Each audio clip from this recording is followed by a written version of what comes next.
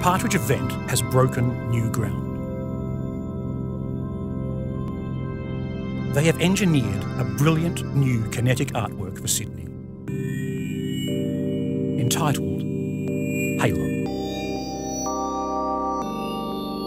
So the project's been three years in the conceiving, designing, making, installing. Uh, It's been a great experience working with the four engineering disciplines mechanical engineering, structural, carbon fibre, and wind engineering. So, this has created this unusual and very enjoyable marriage between art and science and engineering. Halo is a large scale wind activated sculpture, a 12 metre carbon fibre ring, eccentrically supported through a ceramic and stainless steel connection on an inclined tapered steel post, 13 metres in height. I'm Harry Partridge, and uh, I founded a Partridge uh, group of um, engineers uh, 30 years ago. We're now Partridge Structural, Partridge Remedial, and Partridge Event. We really did come together as a team, seeking to deliver this work of art.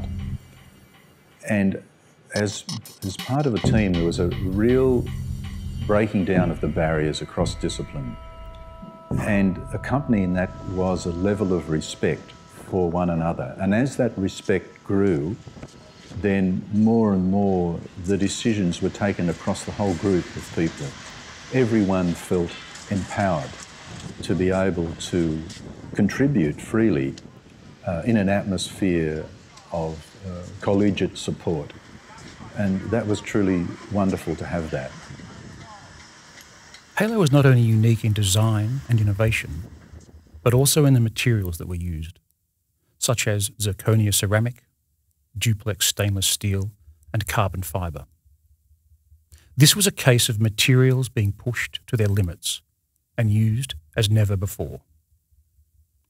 Jeremy Sparks, director of Partridge Event, created a team of carbon, mechanical, structural, wind, and risk engineers and using a process of scientific management, determined that they would challenge each other to deliver remarkable results.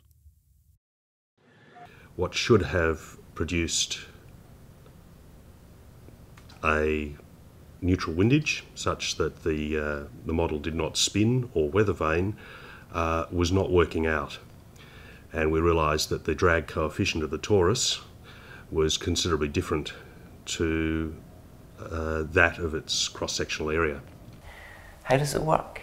How does it move? That's the, that's the bits that get us. It's like a bubble, like a soap bubble. You know, doesn't matter which way you spin it, it'll, it won't sink or float. But that's what it's doing in an aerodynamic perspective. A good challenge. This goes well past any code of practice and it goes well past any um, calculable ability. There's no mathematical model that enables you to predict how the halo would move under the forces of wind. Yeah, and at each of those engineering um, disciplines were at their at their limit i- in in the purity. So, structure we needed the lightest, strongest. Um, a material that would feel like it was floating. Um, mechanics, we needed the smoothest, most friction free bearing. Um, so, therefore, it led to this extraordinary um, design, uh, a mechanical design. And, and the wind, um, it's just pure science.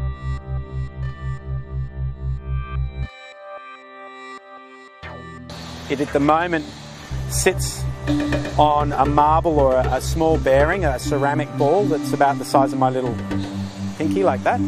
And if we enlarge that and said that was the ball, the halo arm comes over and it rocks on that ball. So we never really, we have as frictionless as we can be. We only have a point of connection. So there's a single point of connection and it rolls over that. So it's like a rocking, like grandma's rocking chair.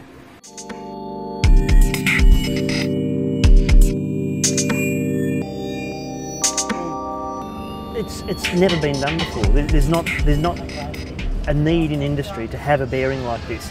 So the the idea to use these materials and the design of it, it was all innovative. It wasn't that there was I was able to sort of look at something else and go, oh look, that's something similar. I can adapt it, or I can buy a bigger one, or and obviously we went down the path of looking at what we could buy off the shelf because uh, you got you know already designed and, and proven safety, but there was nothing around that would give us the functionality. So it was basically a, a blank sheet of paper build.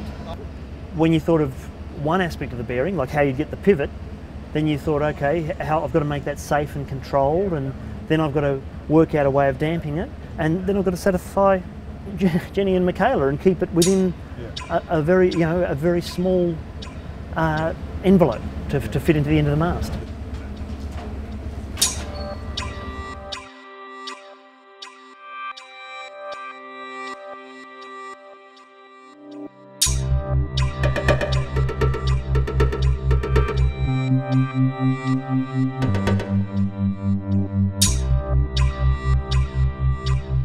Partridge Event has worked on a wide range of public art, film and event structures, such as the Great Gatsby, Sculpture by the Sea, the Biennale, the Big Day Out and the Sydney Olympics.